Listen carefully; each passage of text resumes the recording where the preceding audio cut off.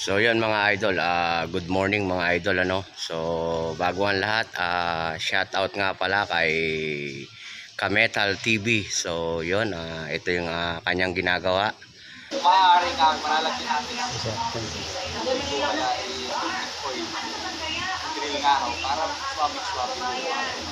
Dahan-dahan lang. Pagka ho bigla, mahirap po eh. Baka bigbo.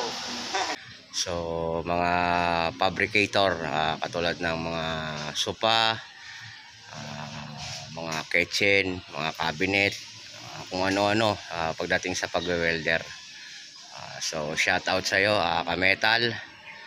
Ah, buti ka pa may sponsor na mga idol. Ah, tayo wala pa. So bago ang lahat, intro muna tayo.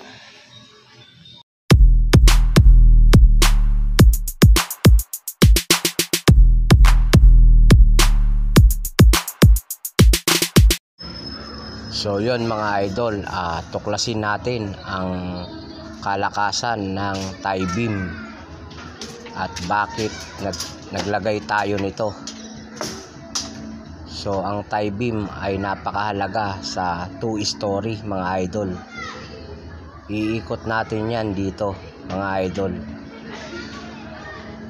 Bakit? Kasi yan ay sinturon ng ating bahay mga idol. So ang ginamit natin ditong mga bakal mga idol ay 16mm mga idol at saka 10mm. So ang pagitan nga pala mga idol nito ay 150 mula rito at pataas mga idol 150 cm. Ganon din sa kabila mga idol. Alos pare-parehas lang yan.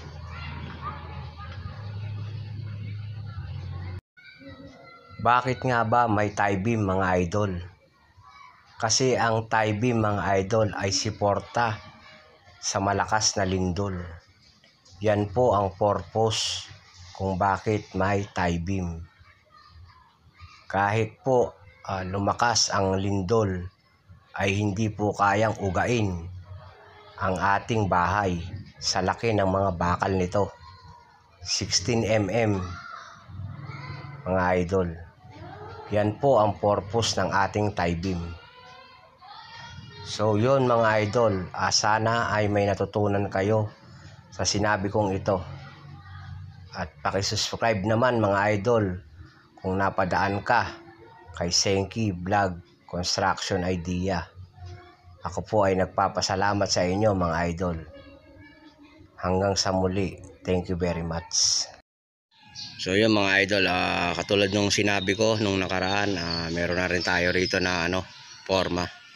Ayan, hanggang dulo na. Nakapormahan na ng mga grupo ng ano, Bicolano.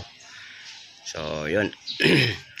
so yun mga idol, ah, ang forma nga pala na, na ginawa nila rito mga idol ay ah, 40, ah, 400.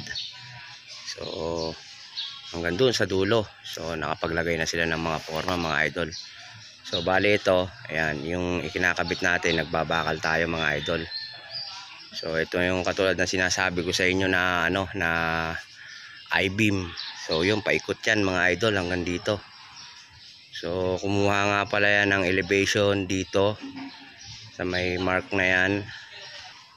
Dito mga idol sa may karsada.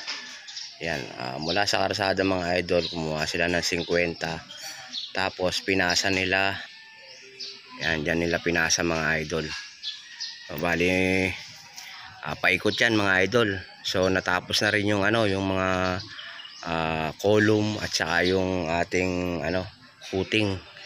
Ah, wala na tayong problema rito. Wala nang problema si Foreman. So, ang problema lang ni Foreman dito mga idol ay yung paggawa ng kwan ng I-beam. Yan. Tapos pagka natapos na natin yung I-beam na yan mga idol ay ah magkuka na tayo magpoposte, magpoporma na ng poste.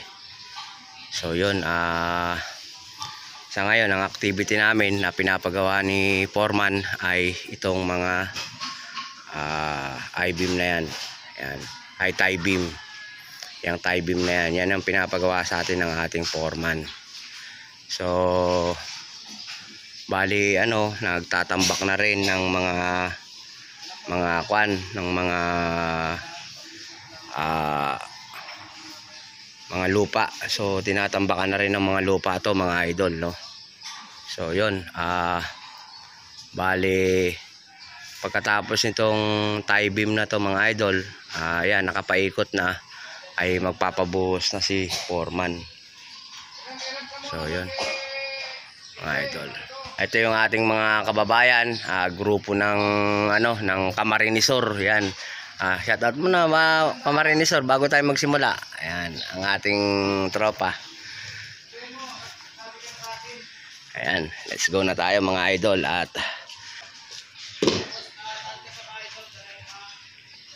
Yun mga idol, ah, dito na naman kami. Maulan mga idol. So ayan si Bicolano, nagpapaulan na baga oh. Bicol, ay, na-shout out ka Bicol. Hmm? Bicol oh. Na-shout out ka. Shout out mo na mga taga Bicol. Mga idol, ah, maulan. Ay si Kuya, Kuya Eddie. Ayan Kuya Eddie, shout out muna. Ayan Kuya Eddie, yun. Out! Oh, yun, shout out daw muna. Ayan ginawa. Maulan! Sa Pilipinas. Ayan muna. out!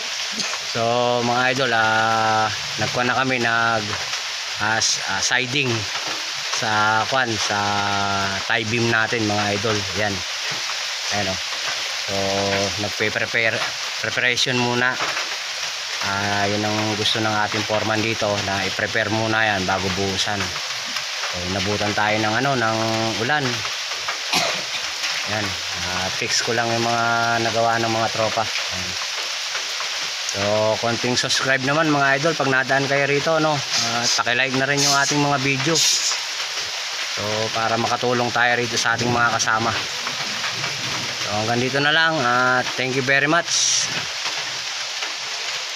So, yung mga idol, ah, mayroon tayong dumating dito sa ano, para sa anay mga idol. So, nag-spray na sila. Ayan. So, ito yung ating ano, ah pinang-i-spray nila rito mga idol. Ayan mga idol oh. So ayan, nag-spray si kuya. Ayan. Ah.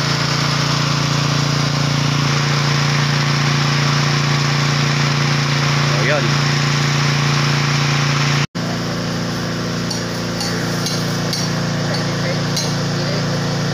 Wag ito, ipapasok ko to dun eh.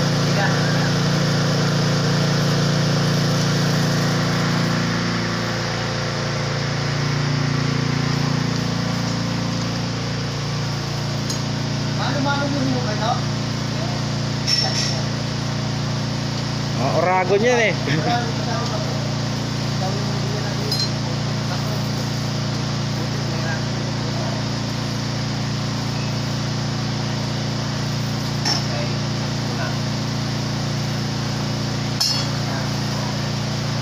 Uy, artista si Buboy ah. Thank you very much.